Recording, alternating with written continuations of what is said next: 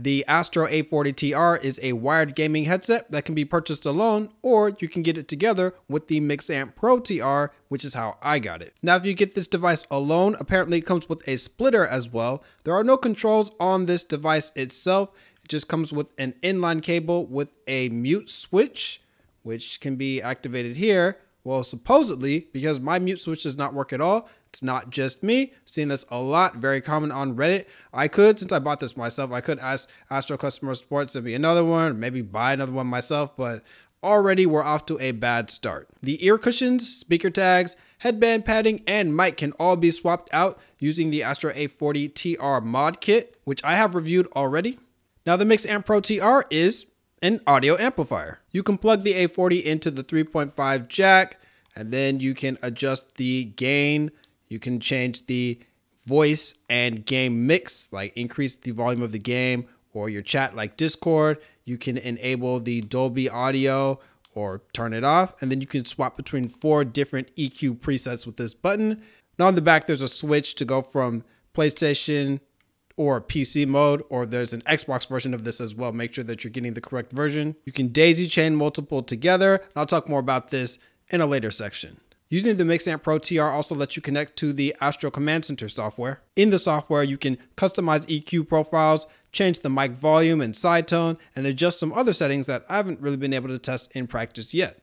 So the way that you would connect this is you would plug the A40 or any headset really into the 3.5 port, then on the back, there's a USB port and you would connect that with the USB type A on the other end into your console or PC. This version works with PC, PS4, and PS5, but you'll need an HDMI to optical adapter in order to get this to get full functionality on PS5. I know the Xbox version works on PC, but I don't know anything else about it because that's not the one I got. Now, this isn't a tutorial video, but basically to get the game voice mixer to work on PC, just select Discord or whatever communication software and set that to mix amp voice and leave the rest of your audio as mix amp gain and you can adjust the volumes with the slider on the right. On console, you'll need to use the optical cable, which will have the game audio go to the optical and then set the PS4 to only send chat audio through USB. If you're like me and you got a PS4 Slim, you'll have to send the optical into your actual TV instead. And there's a lot of videos on how to set that up, but basically I got it to work perfectly, PS4 Slim. Now the Astro A50 is the wireless version of the A40 and it comes with the base station.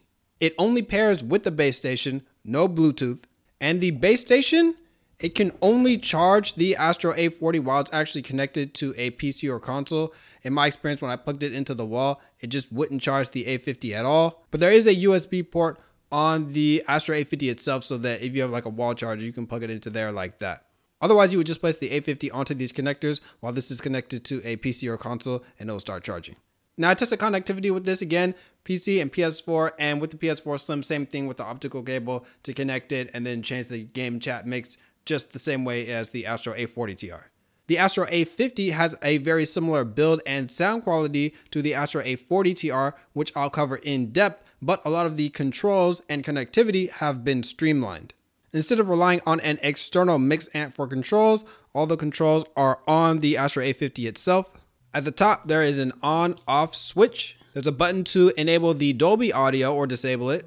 Then there's an EQ preset cycle button. This one only goes between three presets. The Mixamp goes between four. It'll make one beep, two beeps, or three beeps, depending on which preset it's on because there's no visual indicator here. And then there's a headphone gain slider on the bottom. This adjusts the actual gain of the headphone volume itself, not your system volume. And the game voice mix is controlled by the buttons that are on the right ear cup that are just right on the outside.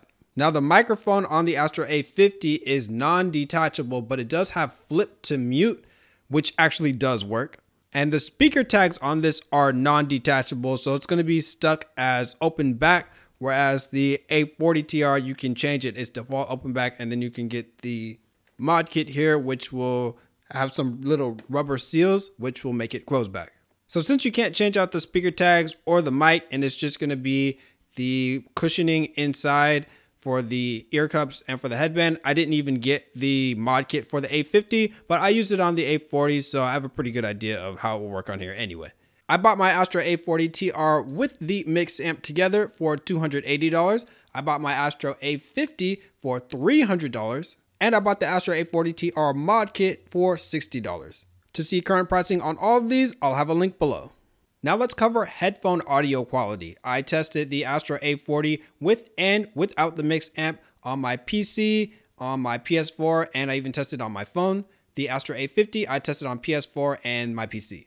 And just to get this out of the way, the mix amp will make your Astro A40 or pretty much any headset louder, but it won't magically make the sound better. Putting in the A40 on my PC at 100% volume was like having the A40 in here, the Mix Amp Pro, at 80% power. If the signal was clean before, it's not gonna change anything, but it can help with the mic because like if I plug my A40 into a splitter, because I have a splitter right here, into my mic input, the signal's not that clean going into my motherboard, so this can clean it up. But if your signal's already clean, this isn't gonna make it just sound better, it'll just make it louder.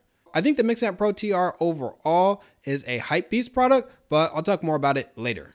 If I could describe the audio quality of both of these headsets in one word, it would be finally. Headphone audio quality on both the A40 and 50 is excellent.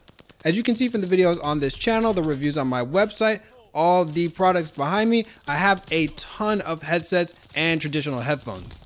And of course, I've tried countless more in stores. And the A40 and A50 are so refreshing.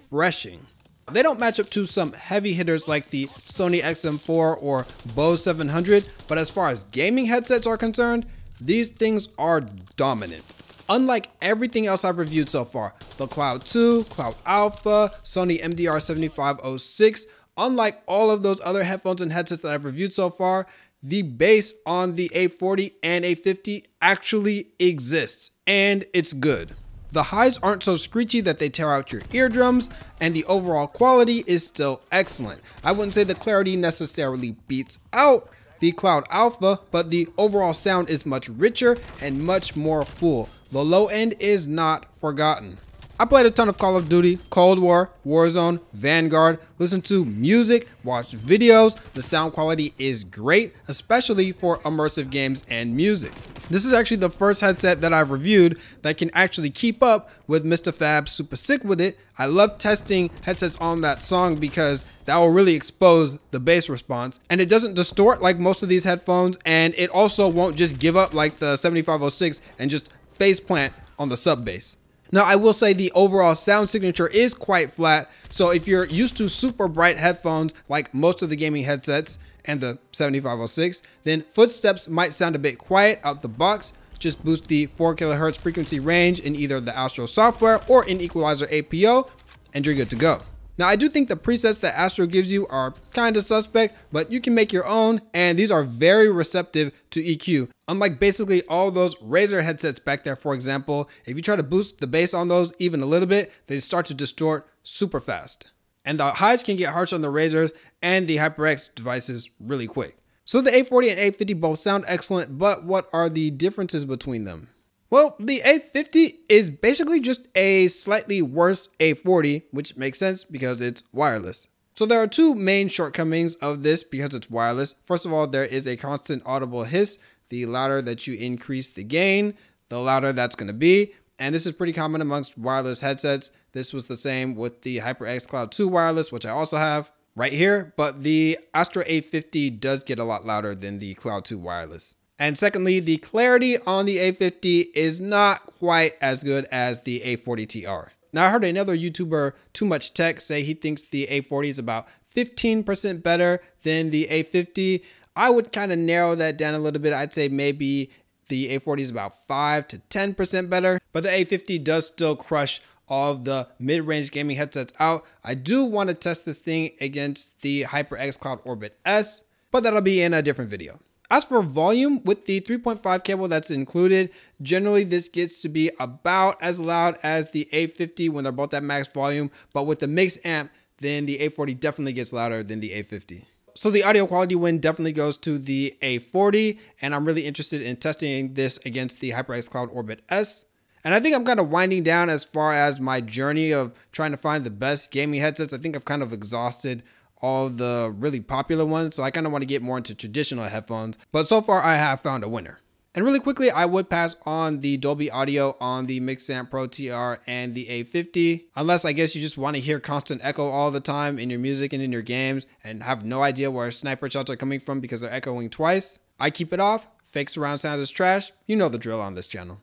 So I already explained what the Mixamp does, but let me just give my quick thoughts on the device overall.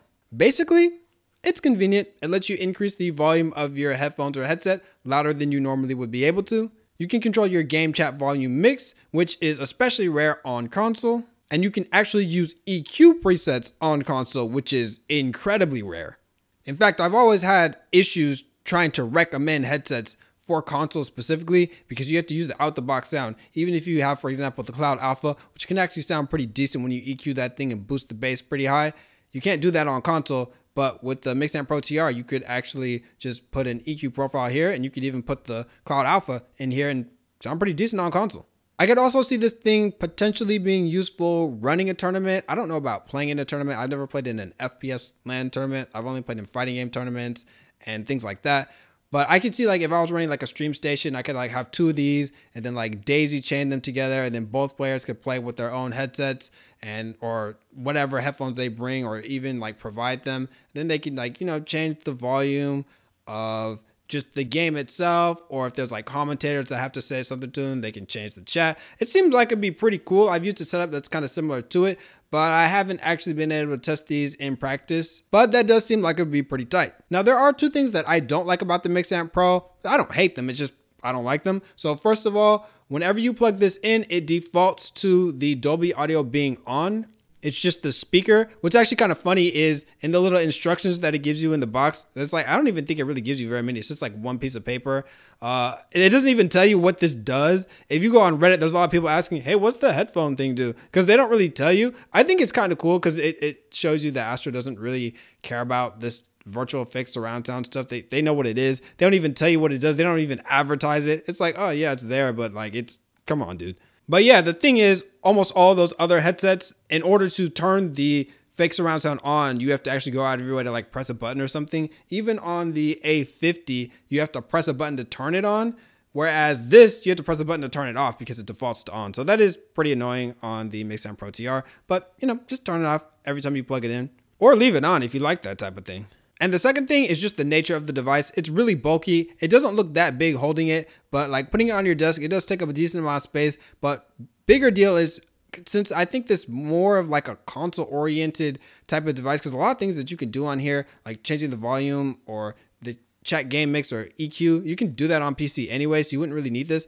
But if you're playing on console, which is where I think this might be more useful, this is kind of just like just hanging out. Like let's say you're you're playing like on a sofa or something. Like where do you put this? Where do you put all the wires? The optical cable, you know, the the USB cable, the headphones. Like there's a lot of stuff that's just kind of hanging out here and this this is big and bulky like it's very awkward to place even the smaller ones like the SteelSeries Arctis 5 that little uh, chat game mix dial and the little amp there it's like where do I put this this is has the same problem except it's like worse so the mix amp Pro TR is a cool device, but it is completely unnecessary. In fact, the reason that it took me so long to buy the A40 is because the community around it, they make it seem like, oh, you absolutely need the mix amp when you get the A40. Otherwise, you're totally missing out on everything. This will transform your headphone audio quality. It will even change, you know, I heard this will change like even Apple EarPods into like this amazing device. Same thing with the mod kit. They were like, oh no, you can't get it without the mix amp and the mod kit, bro. This will totally change the audio. It's absolutely drastic. Man, you gotta put the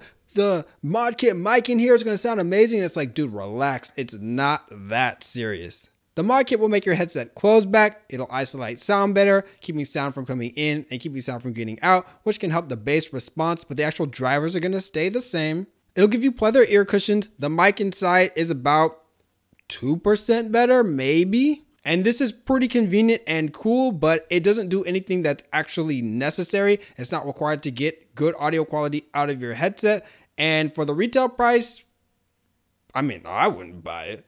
Personally, I would just buy the A40 TR headset by itself for like 150 or however much it is, when and where you buy it. But if you are balling and you like Pimps Only Edition stuff, then I could see getting the Mixamp Pro TR and even the mod kit, but neither of these are required to get a great experience out of the A40TR. All right, this is the Astro A40. I'm using the stock mic. I do have the mod kit ear cups and all that stuff on, but this is the stock microphone. Now this is the streaming noise gate setting, the streaming noise gate setting, Astro A40 TR stock mic.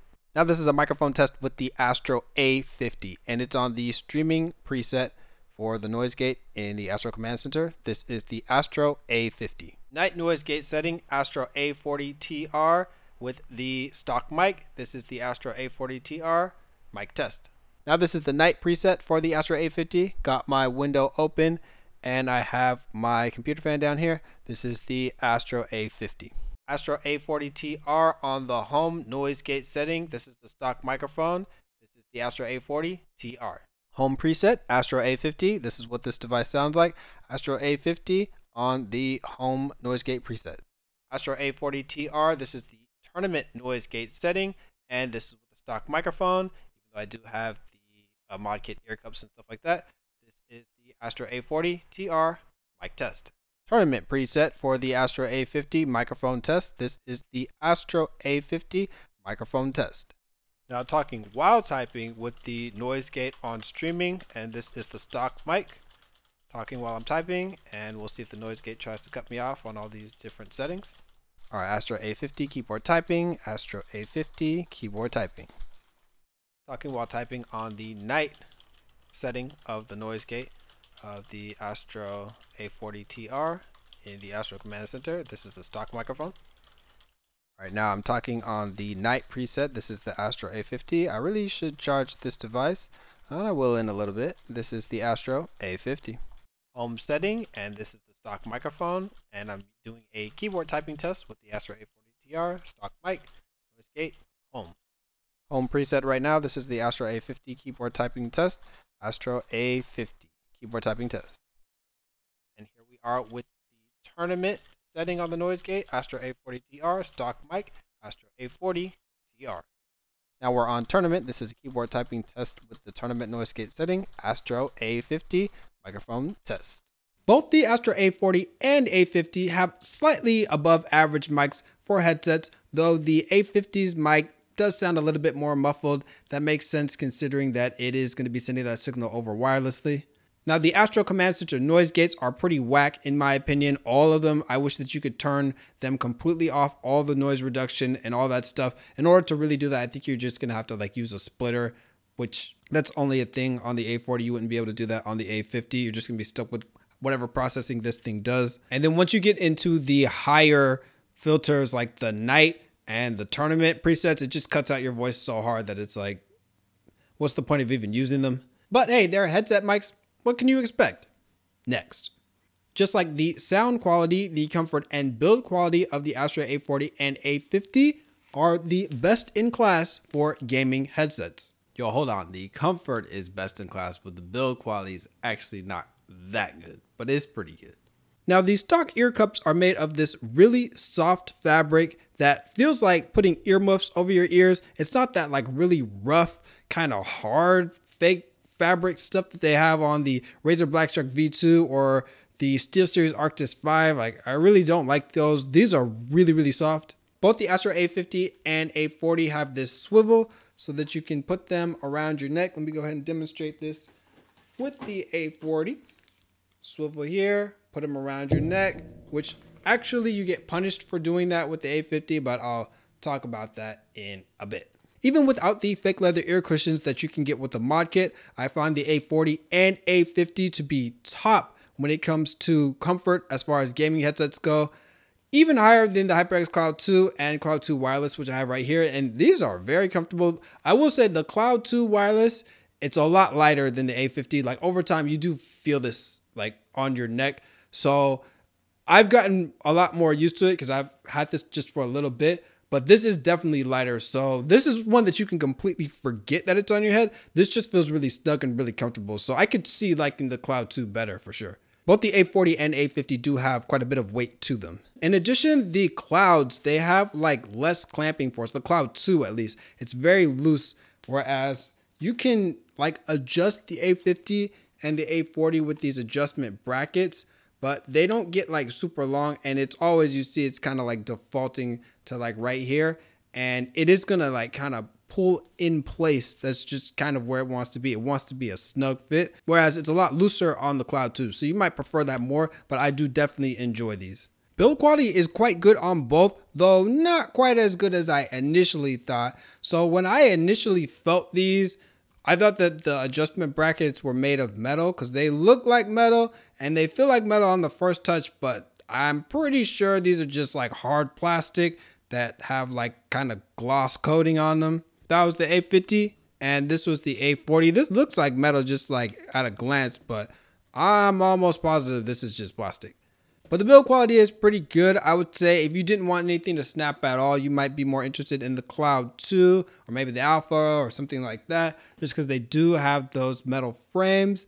But these are quite sturdy in my own experience. The only thing that I find annoying is that the adjustment brackets do have a lot of resistance, which is good for keeping their shape, but it's bad because on the A50 you have to shrink it all the way down to put it back in the base station. So every single time you take it off your head, you got to shrink it down and then pull it out and then you can't just like put it on your head and then like, you know, pull it down. You can, but it's like a little bit irritating. So you have to like take them off to do this, which, you know, it's like whatever. It's like a nitpick, I guess, but that is kind of annoying. And the headband plastic does seem like a volatility point, especially because if you're going to be using the mod kit on the A50 or the A40, you're going to have to keep on pulling these apart when you're going to realize exactly how thin these really are. But overall, good build on both. Not as good as I initially thought, but still good build quality. Now, before I give my final verdict, there is one major issue that I have with the Astro A50, which I consider a complete deal breaker. If I didn't buy this for the specific purpose of reviewing it, then I would 100% bring this back to the store because I just think it completely ruins my experience with this device. And honestly, I've never even returned a product to the store before, just not my style. So that's saying a whole lot. Now, the deal breaker I have with this device is the auto shut off system. So there are sensors inside that try to shut this thing off to conserve power whenever possible. One of the reasons why I haven't really been able to test what the actual battery life is of this device, it is always trying to turn off. Now there's the basic one, of course, if it's not receiving sound for like five or 10 minutes, however long, it'll shut off. But the one I don't like is the gyro sensor. I don't know where it is, but basically, if you don't have this thing like straight up and down on your head at all times, it'll instantly turn off. It's not like, oh, you play it, place it down, it'll turn off after a couple of minutes. It like, for example, right now I'm doing this review. If I look down at my phone and I have this thing tilted downwards, it'll instantly turn off.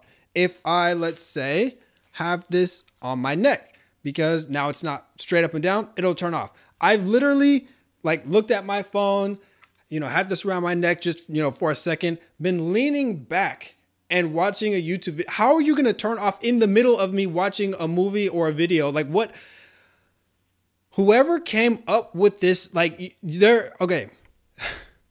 there should be a way to either disable this or customize this or something. It shouldn't be like, oh, well, it's not completely straight up and down. Everybody's not going to be sitting stiff like this at all times. They're going to be leaning back. They're going to be looking at their phone. They're going to be doing whatever it is. It shouldn't completely turn off just because it's not completely straight up and down. That is absolutely asinine. So yeah, whoever came up with this system, get them out, get rid of them. So for my verdict, I fully recommend the Astro A40 TR. The only flaw that I found with this device was that the mute switch did not work at all, which is kind of insane, but otherwise this is an excellent headset. It destroys every other headset that I've reviewed so far in comfort, in sound quality. The build quality is great, not as good as I thought it was, but it's still quite good. Now, this device is also on retail more expensive than all the other headsets that I have reviewed, besides the A50, of course. But as far as wired headsets go, this is excellent. Now, the Mix Amp Pro TR, I only recommend if you have a lot of extra money and you're trying to find something to spend it on, or if you have a very specific use case that you would want to use this, maybe like you're running a tournament or something like that. Otherwise, eh, I wouldn't buy it. Same thing goes for the mod kit. It's an extra, but I would actually buy the mod kit before I bought the Mix Amp Pro because the ear cushions are actually pretty comfortable here. I find them equally comfortable as the normal ear cushions, but the ability to change to close back is pretty cool, and I do like the padding that they add in here. The Astro A50 is a great performing device, and the convenience factor is very nice to be able to have a wireless version of the A40 basically. But I do not recommend this for a few reasons. First is the auto shut off feature. I think that is poorly implemented and the ability to not customize it is insane. Even Astro on their subreddit, they say that it's a feature, it's not a bug.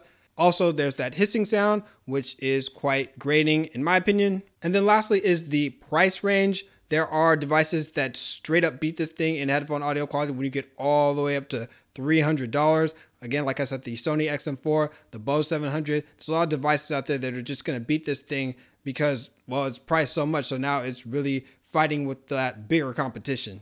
But of course, the point of the A50 is it comes with a base station, which will connect directly to your console or your PC. And it's not going to be using Bluetooth, so it's going to be a lower latency connection, which is the idea, which would be more suitable for gaming than Bluetooth, which has some latency, and worst of all, it cuts out a lot of the time. So if you want a wireless version of the A40 and you're loaded and none of the issues that I talked about concern you about the A50, then this is a good pickup. The A50 is cool, but the Astro A40 is the truth.